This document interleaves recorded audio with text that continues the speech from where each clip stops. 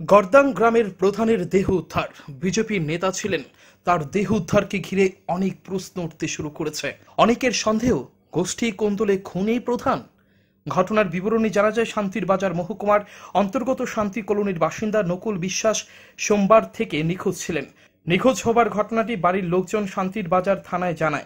রাতে অনেক খোঁজাখুঁজির পর খোঁজ পাওয়া যায়নি। মঙ্গলবার সকালে রেল স্টেশন সংলগ্ন এলাকায় রেল ব্রিজের নিচে ছড়ার জলে ভাসমান অবস্থায় নকুল বিশ্বাসকে দেখতে পায় এলাকাবাসী।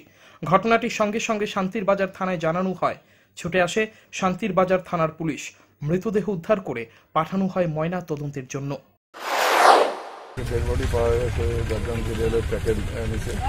তো এরপরে আমাদের পুলিশ পার্টি পাঠানোর পরে আমরা এটা আইডেন্টিফাই করি এলাকার লোক আইডেন্টিফাই করেন যে এটা আমাদের প্রধান যে জর্দান জিপি, নকুল ইয়ে নকুল বিশ্বাস, ওনার ডেড বডি। তো বয়স পঁয়ষট্টি তো বডির মধ্যে এমনি অন্য কোনো ভারের মার্কার কিছু নেই। তো বাকি আমরা এখন পোস্টমর্টমের জন্য পাঠিয়েছি। দেখা যায় পোস্টমর্টমের রিপোর্টে কি আসে। আর আমরা বাড়ির লোকদেরও জিজ্ঞাসাবাদ করব।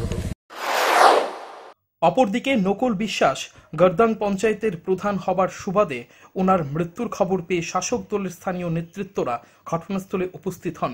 মৃত্যুর ঘটনা নিয়ে তদন্তে নেমেছে পুলিশ। রিপোর্ট, চ্যানেল তিন রাত।